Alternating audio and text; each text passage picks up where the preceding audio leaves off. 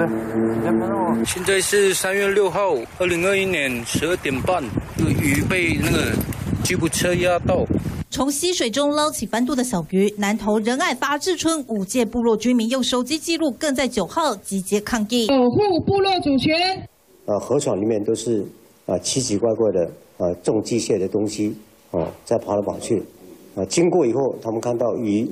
都死光光。不满中华民国越野吉普车运动协会向水利署第四河川局申请演训，却有近百辆越野吉普车涌入溪床来回奔驰，不但影响生态，还压死不少小鱼，质疑是假演练，真完了。是污蔑，他们是因为图个人私人的利益，这些人在里面从事非法的渔业行为，让他们的某些方面损失。那些的处所当中是他们自己生财工序。